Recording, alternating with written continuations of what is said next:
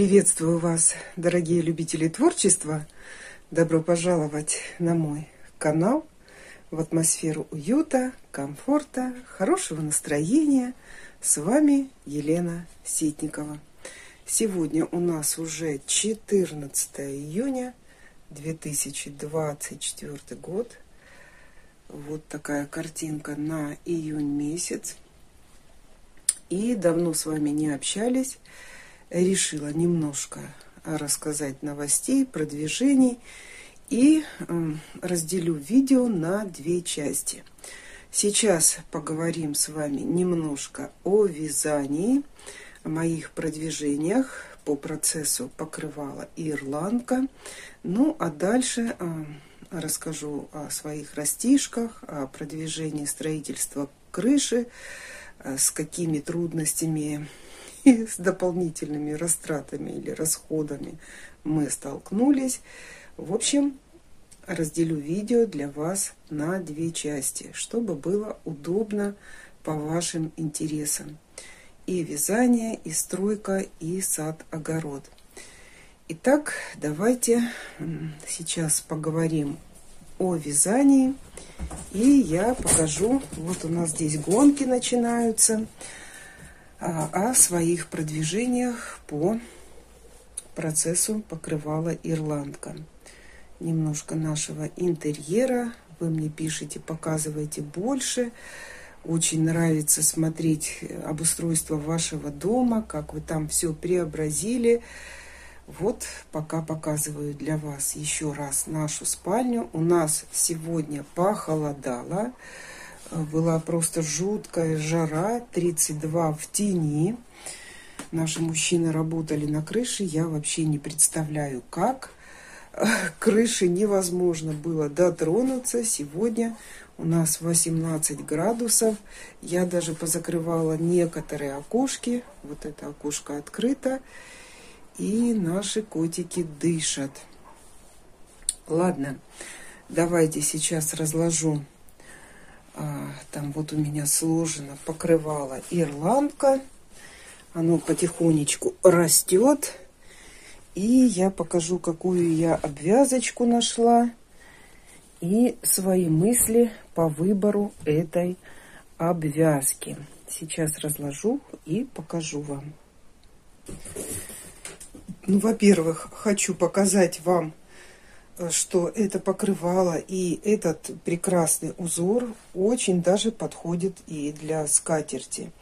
Вы мне даже писали, что и вязали даже платье. Ну, я думаю, что это платье туника, скорее всего, была, потому что а, здесь квадратный мотив и ну, как-то платье по силуэту из квадратных мотивов связать, конечно, сложно, не изменив узор.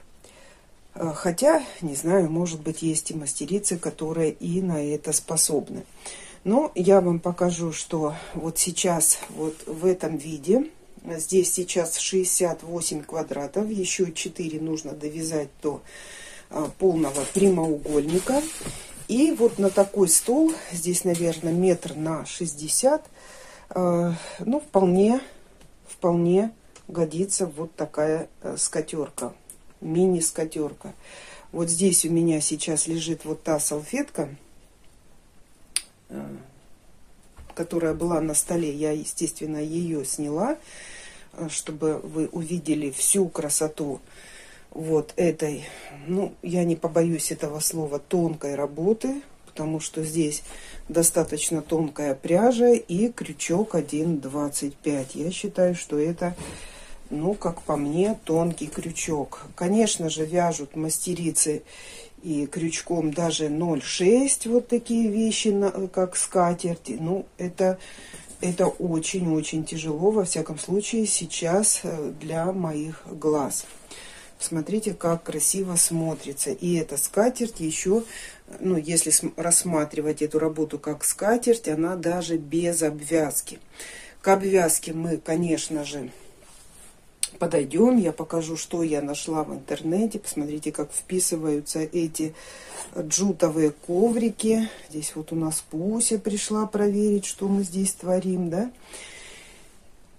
Значит, весит вот это полотно из 64 квадратов 380 э, грамм. Но если добавить еще 4 квадрата, чтобы был прямоугольник, то есть не 64 квадрата, а получается 64 плюс 8, э, да? Сколько это получается? 72 квадрата.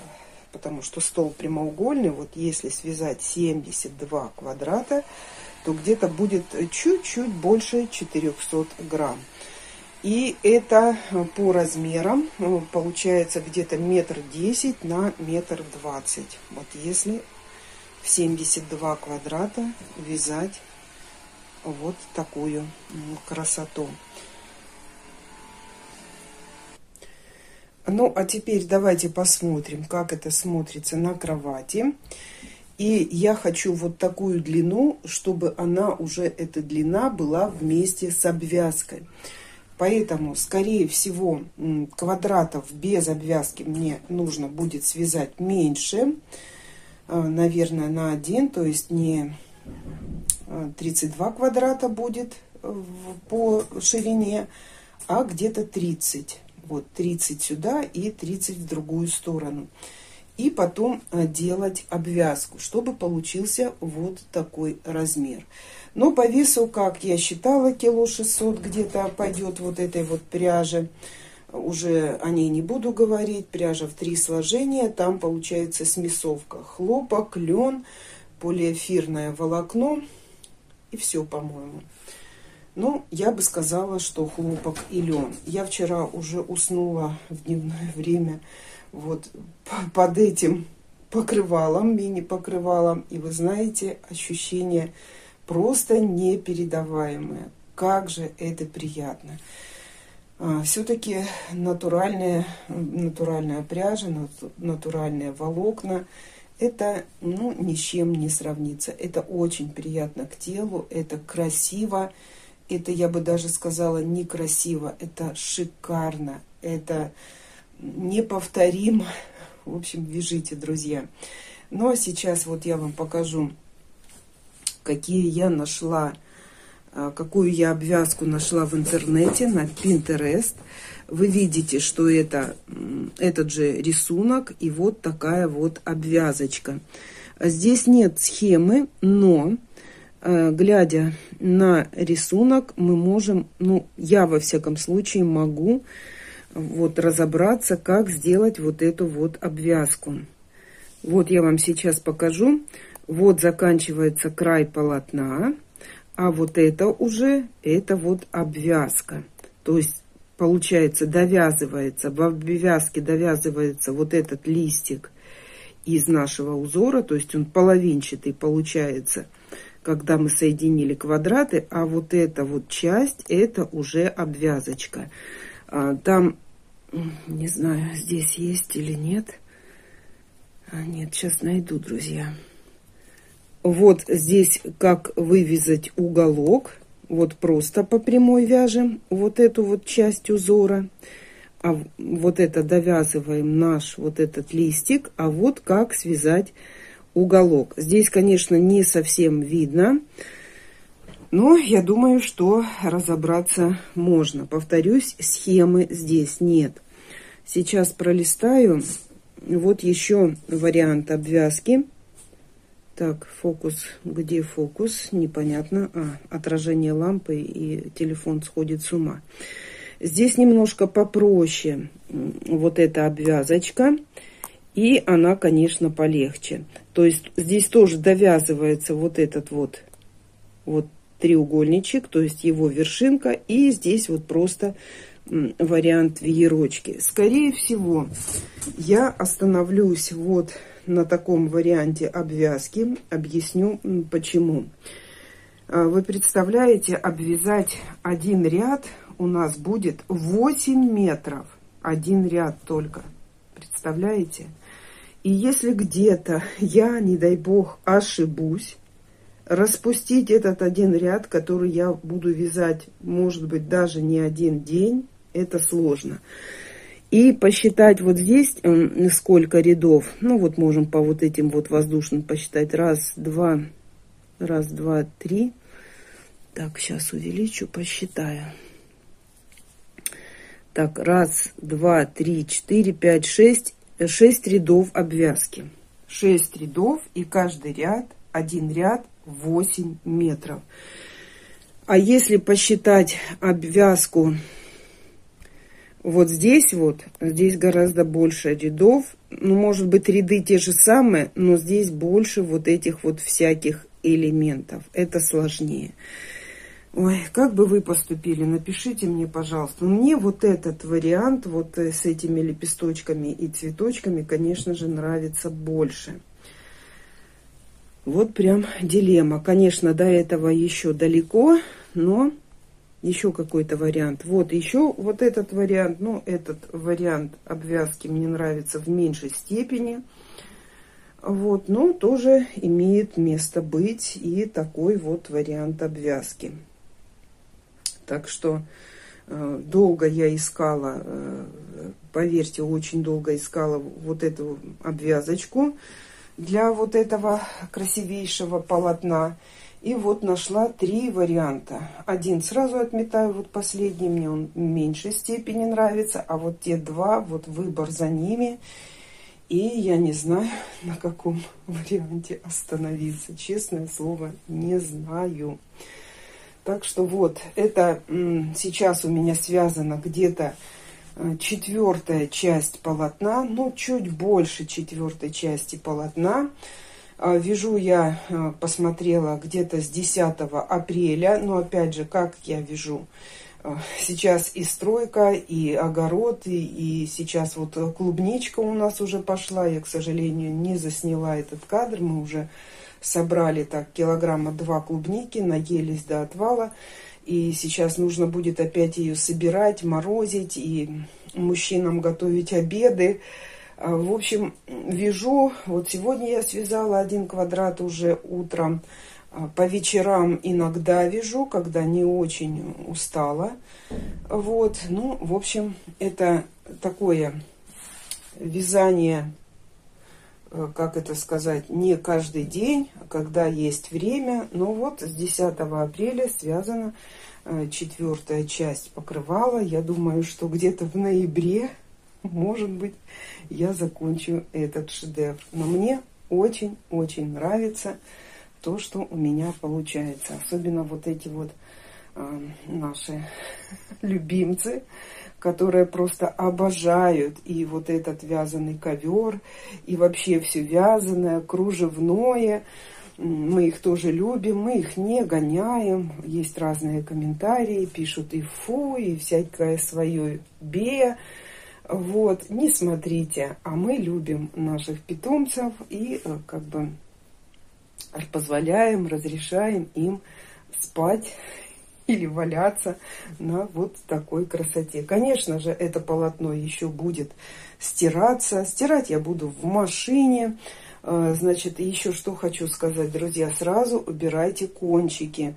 Вот этот кончик, который в начале вязания, вязание начинается вот отсюда, я сразу не заправляю иголкой, а я ввязываю его в первом ряду, а потом перехожу на второй ряд и еще ввязываю во втором ряду.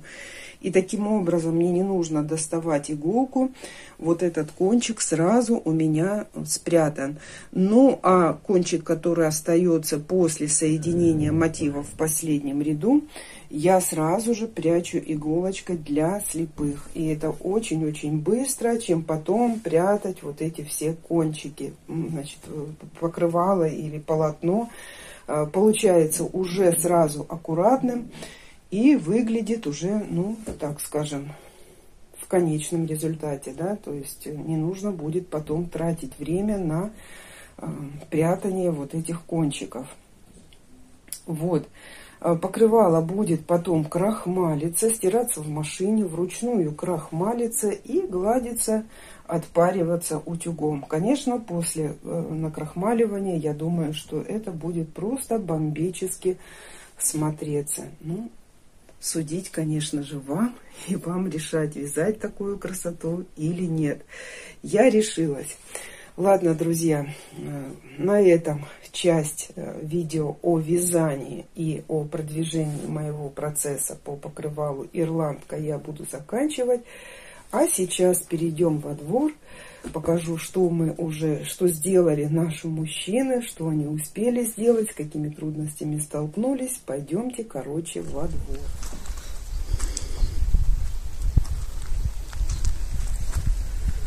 Ну что, друзья, съемка полным ходом.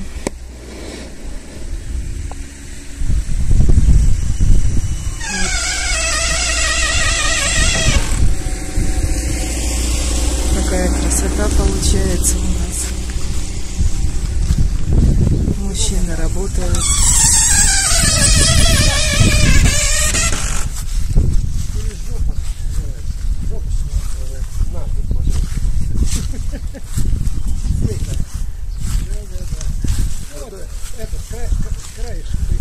Как же приятно, когда есть рукастые мужчины когда не нужно нанимать людей.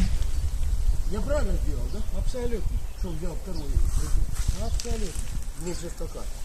Ну да.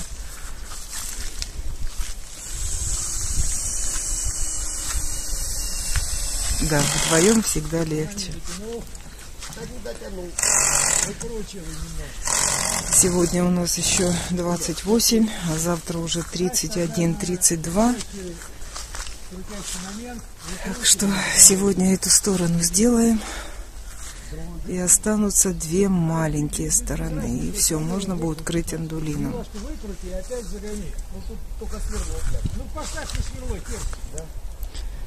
Не ругайтесь, съемка идет. А то мне потом вырезать придется. Не надо, и загоняй дальше. И этим же сверлом? Да, да, да, да.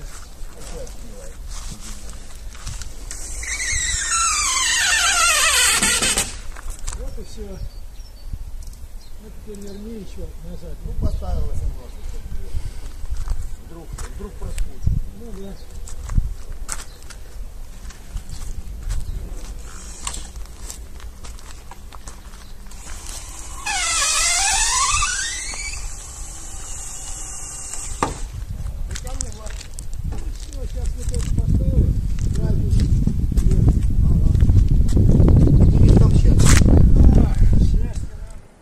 Вот только с этого ракурса я могу вам показать, что одна часть, меньшая часть крыши уже укрыта андулином. Это вот так вот смотрится. Вот, э, практически готова обрешетка. Вот вторая вот такая маленькая часть нашей крыши. Сегодня вот Лешек там работает. Она будет готова.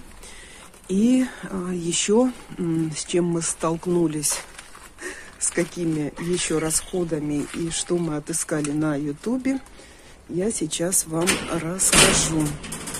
Сейчас отойду, покажу, как смотрится наш дом сейчас со стороны улицы. Может быть, найду фото, или, может быть, не в этом видео, а в других видео покажу, какая крыша была изначально, когда мы покупали дом. Вот, сейчас покажу, как это смотрится. Вот, когда идешь по улице, вот так уже смотрится часть крыши. Вот. Ну, а сейчас пройдемте во двор. Я покажу, с чем мы столкнулись, когда а, ну, прикладывали конек, который будет тоже монтироваться и с чем мы столкнулись. Короче, вот эти клинья крыши, э, это вальмовая крыша называется, конек, коньки, да, то есть по скосу, и потом вот там конек, там нужно, должна идти еще одна закладная, или, как сказать, еще один брус, э, который будет заполнять конек крыши. Мужчины, наверное, меня поймут. Вот, сейчас я вам покажу конек крыши андулина. Вот так он выглядит. Вот видите, здесь вот такая как бы полусфера, да. вот чтобы эта полусфера имела жесткость, вот здесь должна, и, должно идти ребро из э, древесины, да, из дерева. И а, тогда это все вот так вот, ну, как бы складывается, да, и это ребро заполняется этим, этой древесиной. Вот его теперь нужно будет монтировать. Вчера мы примеряли там, ну, в общем, э, как это все будет, э, как, какой брус туда нужно, чтобы положить его вот так вот по вот это, э, по четырем, ну, по пяти, получается, четыре ребра на скосах и одна вот так поперечина горизонтальная. И сегодня Лешек ездил в доку и э, купил этот брус вот, это я вам о расходах, которые э, дополнительные. Вот он уже его обработал вот этой пропиткой. Вот он этот брус. Здесь, наверное, 5 на 6. Я так предполагаю, что это брус 5 на 6. Вот 8 штук нужно было купить этого бруса. Сначала съездили за одной штукой, примерили, ну, подходит, не подходит. Потом поехал Лешек сегодня, докупил еще 7 штук. Короче, 8 штук вот этого бруса мы докупали, чтобы вот сделать все, так скажем, красиво. Вот Лешек здесь работает. Вторую, вторую вот эту половину крыши маленькую. Вертикальные он уже положил. И сейчас, ну, вот укладывает горизонтальные вот эти вот доски или лес, да, вот это. Вот, вы мне там писали, что лучше бы нанять, а, это все тяжело. Друзья, я вам так скажу, здесь люди даже не знают, что такое андулин понимаете, не знают. И я не уверена, что они бы там прошерстили, так как мы информацию всю, видеоинформацию, инструкции все, и сделали бы все правильно. Я в этом далеко не уверена. Да, тяжело, но мы делаем для себя, и мы делаем хорошо. Вот можно было бы вот это, на все вот это забить, сейчас зашить эту крышу, вот как та часть, да, и все, никаких поперечин больше не укладывать, вот этот брус не покупать и сделать конек. И через время это все бы смотрелось ужасно. Пустота в этом коньке, вот в этом яблоке конька а, со временем бы за счет осадков, за счет солнца, все бы это просело и смотрелось бы это ужасно.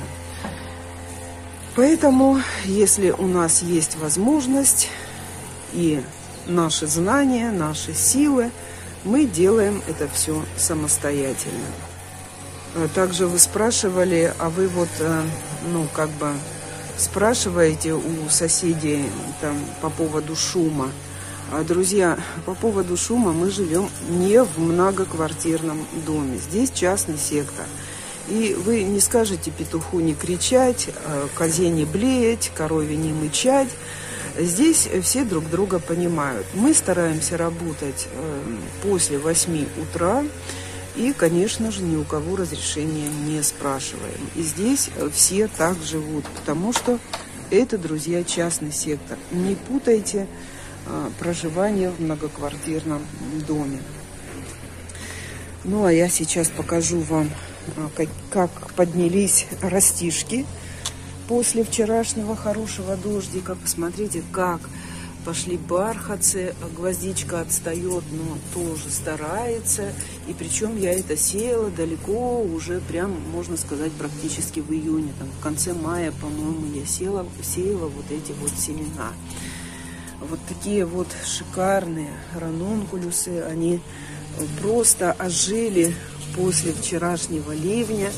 Я сначала накрывала, очень боялась града. Ну, вышла дождик вроде бы там хорошенький. И все пораскрывала, и растения, а, ну, как бы ожили. Вот там ползает муравей, но я уже обрабатывала от тли а, жидким мылом. Нужно будет, это не жидким мылом, а зеленое мыло покупала, по-моему, в фикс прайсе или в светофоре, в светофоре, наверное. и обрабатывала розы и ранункулюсы. У них очень, ну, как бы, это сочная, сочная, вот такая, такие вот листики сочные, которые очень любят, э, очень любят тля. Вот эти вот вообще розовые тоже сажались очень поздно. Ну, посмотрите, они уже практически вот не отличаются вот от этих ранункулюсов. Вот. Видите, все, да, все друг друга догнали, да? А вот здесь, представляете, вместе вот с этим пиончиком э, попало семечко и помеем. Вот оно. Просто было, видимо, в земле. Я не знаю, каким образом. Это я не сажала. Семечко было в земле, и вот и помейка выросла. Сегодня моя задача сделать опору для этой ипомеи. Вот. Все пошло расти.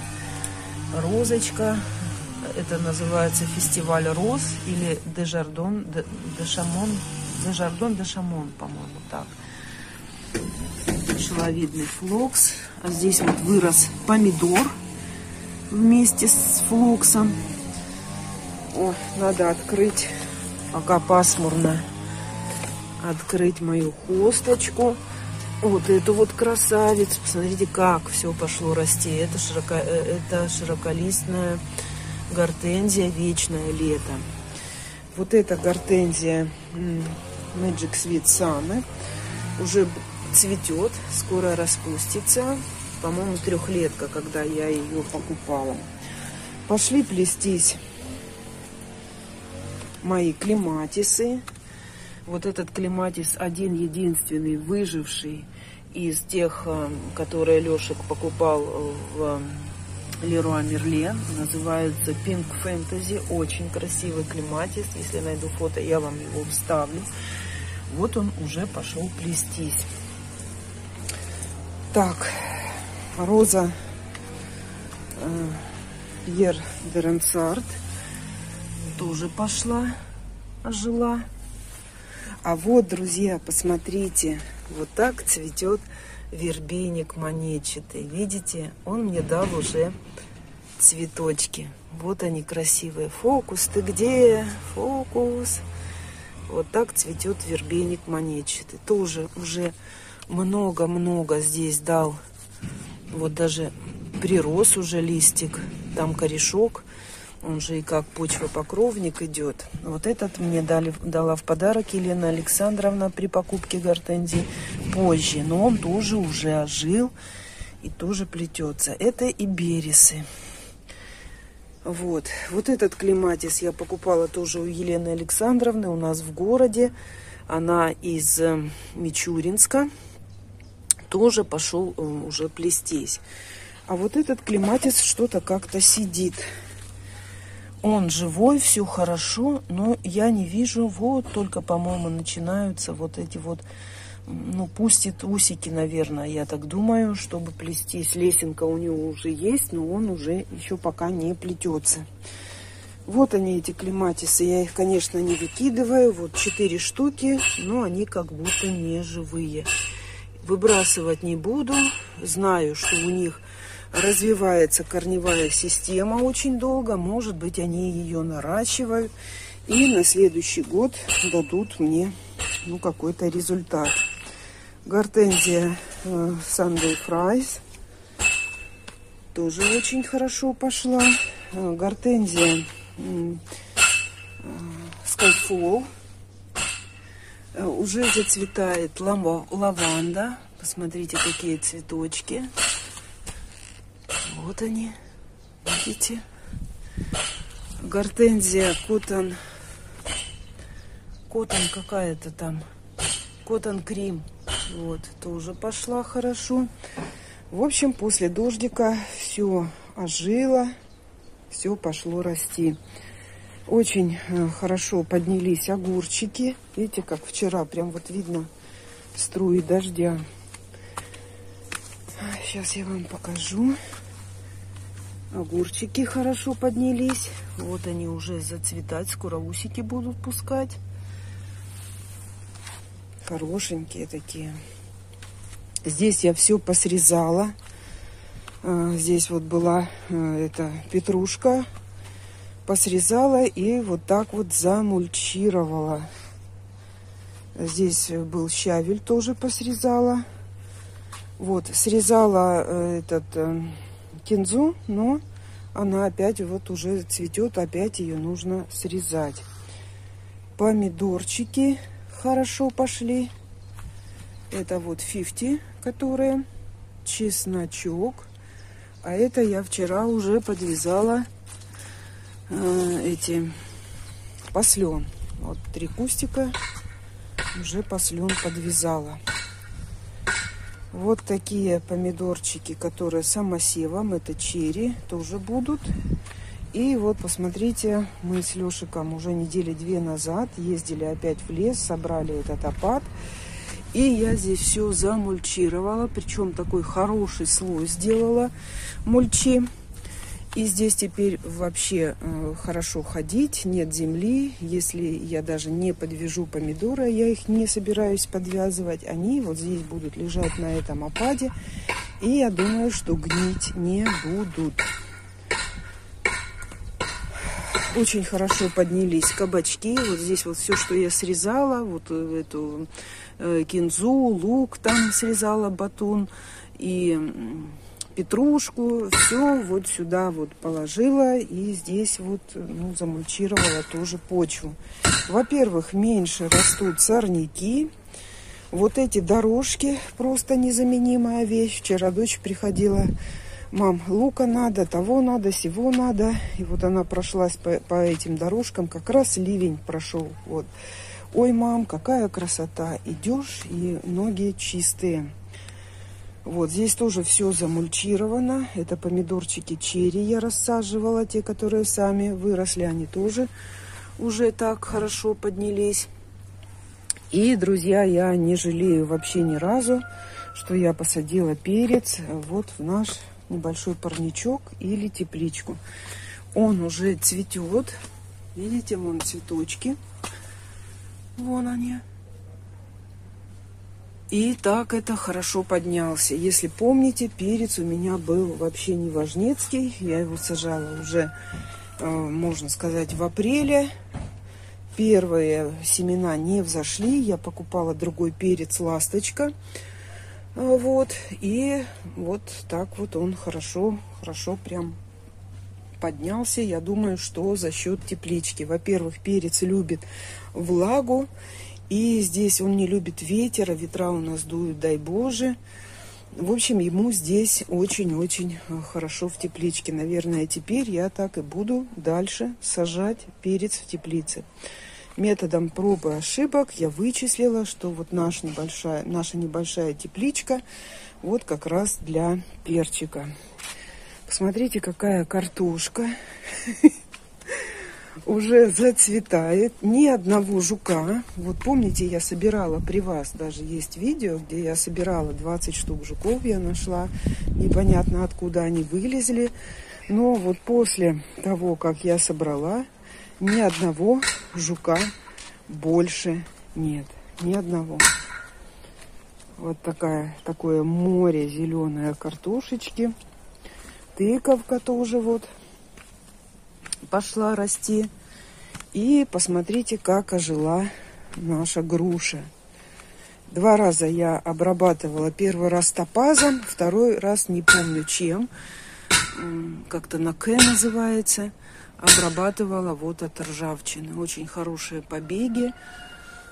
В общем, груша прям будет такая за счет того, что она переболела и чуть не погибла. Я вот, вы видите, я ее срезала полностью, а потом увидела снизу пошли расти вот отсюда вот побеги. И она стала вот такая прям как кустик, и это очень хорошо. Она не будет за счет этого высокой, и я думаю, что все будет хорошо. Вот, обрабатывала также яблони все, и вот эту яблоню, это Семиренко, и вот ту яблоню, которая называется конфетная тоже обрабатывала от ржавчины два раза. А, есть малинка. На ремонтантной малине куст полностью облеплен. Вообще я такого, честно говоря, не ожидала. посмотрите, что здесь творится. Это вот ремонтантная малина. А, она дала вот кустики новые. Вот они, это от нее. И вот так вот я ее размножу, чтобы была и та, и другая. Но мне по вкусу, если, нрав... если честно, нравится больше малина обычно. Но этой уж очень много. Она дает очень много ягод. Посмотрите, что творится. Вот после дождика как раз хорошо. Очень много крыжовничка. Лешек ждет крыжовничек. Прям очень много. Такие, я бы сказала, грозди, ветки вон ломятся. Я вчера одну такую сломанную нашла. Прям жалко. Вот. Вот такие у нас звуки. Люди работают. Соседи у нас тоже, соседи, я имею в виду с той стороны, тоже строятся. Там и сарай разбирается, и беседочка будет. А, другой сосед, вы слышите, триммер работает. Это нормально для частного сектора. Вот с этой стороны вам еще покажу перчик. Вот. Сегодня опять будет длинное видео клубничка. Клубничка мелкая, но ее много. Вот нужно уже собирать. Нужно уже собирать. Лена, а то она погниет. Дожди прошли. Ну ничего, по осени я ее рассажу. Это уже три года этой клубники. Ой, вон она, посмотрите сколько. Очень много. Ой, прям вообще. Прям сейчас одну даже съем. М -м -м. Вкуснятина. Обалденная.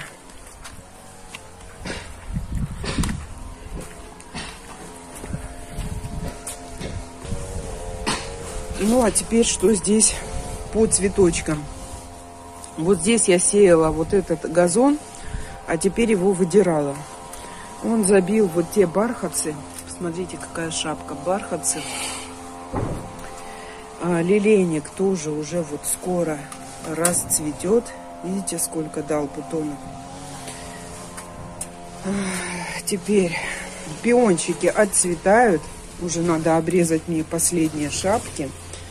Я их обрезаю и прям бросаю, чтобы они перегнивали как удобрение для пиона. Посмотрите, что здесь творится вот с этими помидорами черри. У меня еще здесь куча помидор черри. Очень много.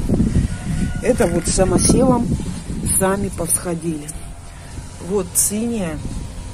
И посмотрите, на днях расцветет. Посмотрите, какой громадный бутон лилии.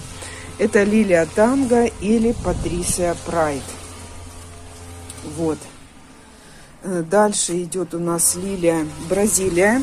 Вот это ароматная лилия. Она поменьше росточком, но пахнет. Вот она единственная изо всех лилий. Дальше идут гибриды, они без запаха. Но они все будут цвести в этом году. Вот еще помидор, посмотрите.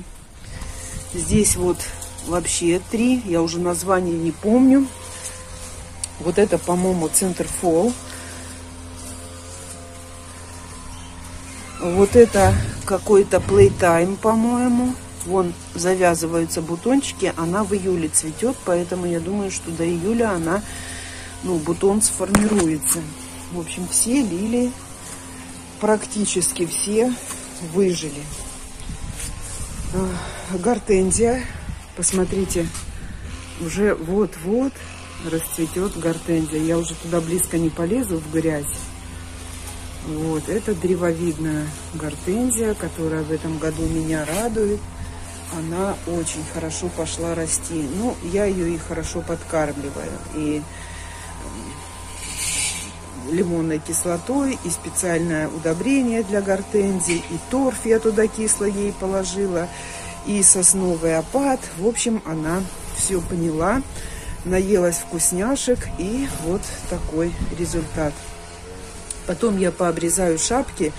Я смотрела видео, что если, когда она цветет, просто обрезать ее цветы, то на следующий год на этих веточек, на, на этих веточках уже будет по три цветочка. Так вот по одному, а так будет по три. Ну, посмотрим, это покажет время. Вот цини, смотрите, цини, как хорошо после дождичка вместе с бархатцем не пошли. Ну, какие, вот они.